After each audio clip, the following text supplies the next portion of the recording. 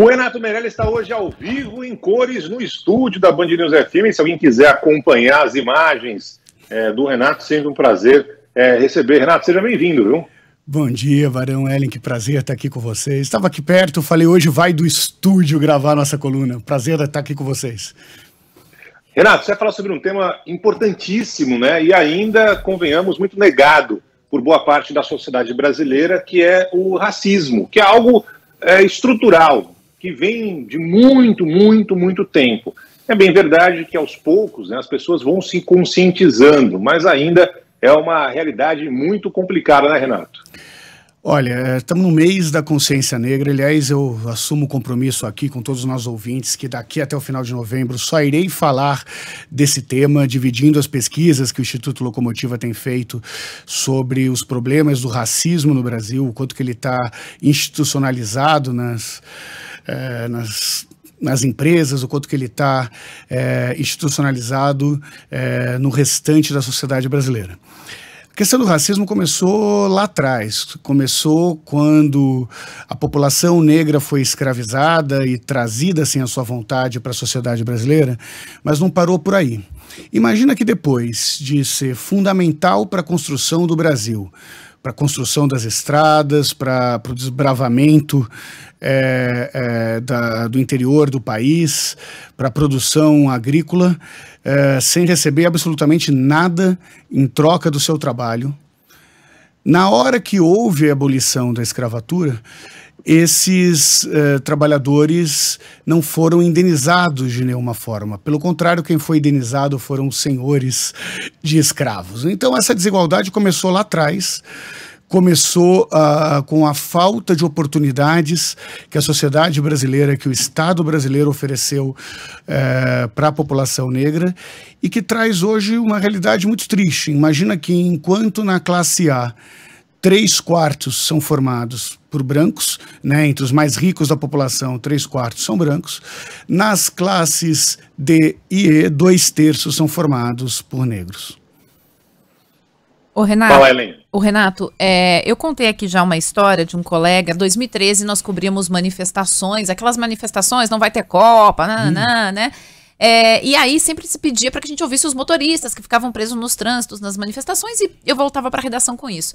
Meu colega Eliezer Santos, que é negro, é, ligou para a redação e disse assim: é, Olha, desculpa, eu não vou voltar com nenhuma sonora, nenhuma fala de motorista, porque quando eu bato no vidro, ninguém abre a janela do carro para mim. É, e o seu, a sua pesquisa mostra justamente isso, que as pessoas negras enfrentam é, situações de racismo que são inimagináveis por mim, por você, pelas pessoas que são brancas. Seja numa loja, seja trabalhando numa reportagem, porque elas são é, é sofrem desconfiança, é isso? É exatamente isso, Ellen. Agora, imagine uma situação. A polícia surge como instrumento que, inclusive, é monopólio do Estado para garantir a segurança de todos. Eu, que sou branco, quando vejo um carro da polícia, me sinto mais seguro. Infelizmente, essa não é a realidade da população negra. A população negra, que sofre três vezes mais batida policial do que a população branca, sabe que se for abordado pela polícia, muitas vezes essa abordagem vai começar com um tapa na cara. Não é. Vamos pensar um caso bastante cotidiano da população brasileira. Uma mãe que, antes do filho sair de casa para ir para a escola, se despede do seu filho.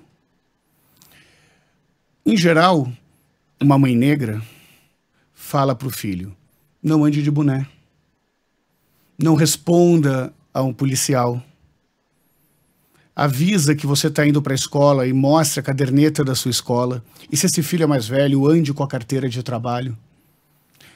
Isso tudo acontece para evitar que esses uh, uh, jovens, de alguma forma, sejam abordados e agredidos pela polícia. Isso não acontece com os jovens brancos. Não é à toa que a nossa pesquisa mostra que mais de 90% uh, dos brasileiros acreditam que a polícia é racista. E quando isso acontece, a polícia que deveria servir para proteger o cidadão acaba servindo como é, uma fonte de medo da população negra brasileira.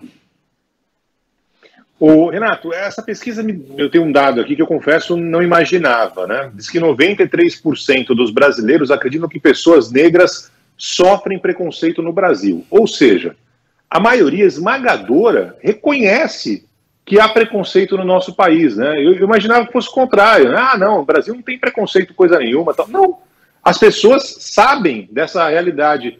E é incrível que parece que não há nenhuma vontade de boa parte da sociedade de mudar esse cenário, né? É muito bacana é, você ter destacado esse dado, Barão, porque nesse mesma pesquisa nós perguntamos para os brasileiros o quanto que eles se consideram racistas. Né, e pouco menos de 5% acredite, é, se definiu como racista. Ou seja, esse mesmo brasileiro que reconhece o racismo nos outros afirma que ele não é racista. E muitas vezes isso acontece, Ellen, porque é, ele não considera o humor como uma ferramenta racista. Então, uma referência ao cabelo, uma referência a, a, ao, ao, ao porte, são referências que muitas vezes são feitas com humor, mas que na verdade acabam depreciando é, a população negra. É, não é, é difícil uh, ouvir termos como volta para a África, ou hoje é dia de branco, ou trabalho de preto. São termos que são muito característicos da, uh, do vocabulário brasileiro e que têm origens racistas e acabam é, é, alimentando o estigma que existe da sociedade contra a população negra. Ô, Renato, última pergunta aqui de minha parte tem a ver com representatividade. É, vocês, ao ouvir as pessoas, percebem que elas entendem a importância da representatividade, de nós termos negros em posições de poder, de destaque, ou as pessoas ainda encaram isso como um grande mimimi? Depende das pessoas. É, a gente tem um, um, uma parcela da sociedade brasileira que é aquela mesma parcela que, por coincidência, duvidam sobre a Terra ser redonda ou sobre a eficiência da vacina que acreditam que é tudo mimimi. Que os negros é, é, são majoritariamente mais pobres quando comparado com os brancos, porque eles trabalharam menos ou não tiveram merecimento sobre isso. Quando você fala para a maioria da sociedade, é, é, e os números são diferentes. A maioria da sociedade reconhece que é, o que leva à desigualdade de renda está muito mais ligado ao preconceito histórico, à ausência de oportunidades para a população negra, do que qualquer tipo de mimimi.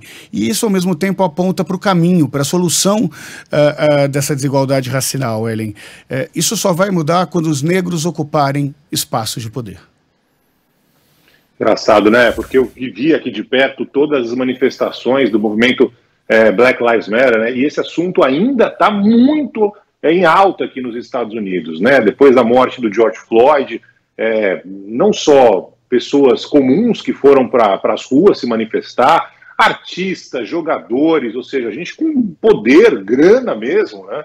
Esse virou um assunto fundamental aqui nos Estados Unidos e não me parece que ainda no Brasil essa, esse combate ao racismo né, é algo tão necessário já há tanto tempo em qualquer sociedade do mundo, né, está é, é, com destaque. E claro que tem associações, grupos, pessoas que tentam de alguma forma no dia a dia é, acabar com isso, mas ainda me parece um debate que está distante da maioria. Tomara que em breve esse cenário mude.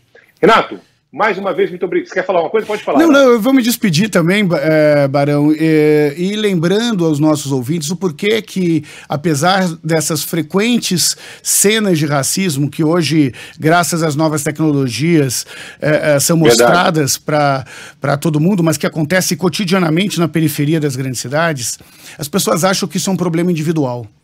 Que a culpa do assassinato do George Floyd foi do policial. Não foi. O policial foi só a bala, mas quem atirou efetivamente é, é, é, foi a sociedade que durante anos normaliza a violência contra a população negra. A questão do racismo é uma questão social, não é apenas uma questão individual. Prazer estar aqui com vocês, falando hoje do estúdio. Prazer, Ellen, estar aqui pessoalmente. Um beijo para todos os ouvintes da Band News. Prazer é todo tapete, nosso. Viu? Tapete estendido sempre. Valeu, Renato. Até a próxima. Valeu.